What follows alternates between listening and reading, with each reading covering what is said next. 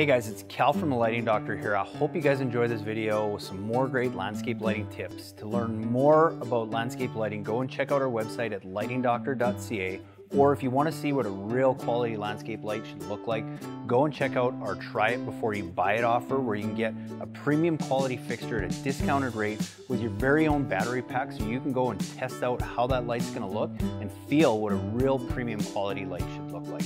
So go and check us out at lightingdoctor.ca or go watch more videos on YouTube just by searching for The Lighting Doctor.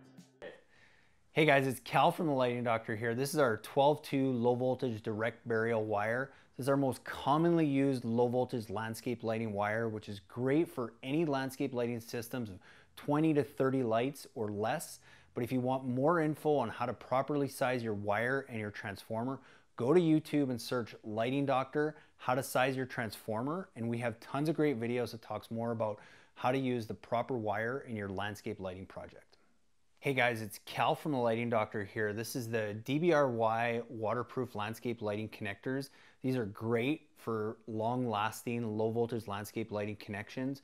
Each one of these tubes is gel filled to help keep the water out, as well as it's got a snapping mechanism to keep your wires from pulling apart, which ensures that you're gonna have long lasting connections for all your low voltage landscape lighting. Hey guys, it's Cal from the Lighting Doctor here, and one of the questions I get asked all the time is how do I drill underneath the sidewalk? Go and get a simple bulb planter drill. You can get it on Amazon.com. It's about a $20 bit, but is a simple and easy way to get wire under any sidewalk. Or go to YouTube and search Lighting Doctor, how to tunnel under a sidewalk for more great tips. Hey guys, it's Cal from the Lighting Doctor here. I just want to show you one of the probably the most important tools that you can get for burying your landscape lighting wire is just a simple flat spaded shovel for making sure you get that wire nice and deep in the ground. So one of the one of the things I get asked is how to bury the wire. Um, in a mulch area like this, what I like to do is just, you know, just with a flat shovel or a rake, is just move the mulch or whatever you have back from wherever you want to lay that wire, and then I just go around with a, flat-ended spade and basically just make a cut and just loosen that dirt up. And give it a, a good place for the wire to sit. And then afterwards,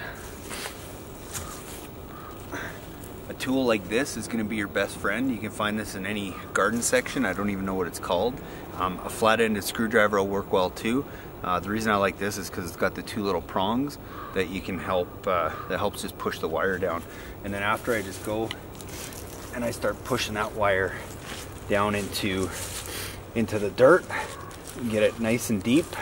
Because this is low voltage, you don't have to have it 18 inches or, or a foot down. Um, and then the other thing I like to do just to help secure it is every once in a while, um, just a simple landscape stake like this, and just throw it over the wire and hammer it down. And that'll just help that as you're gardening and stuff. If uh, you happen to, uh, to dig it up or catch it with a rake all that wire is not going to pull out. It's just going to help secure it down Hey guys, I really hope you enjoyed that video presentation with some great tips and tools on how to go and properly and effectively light up your landscape.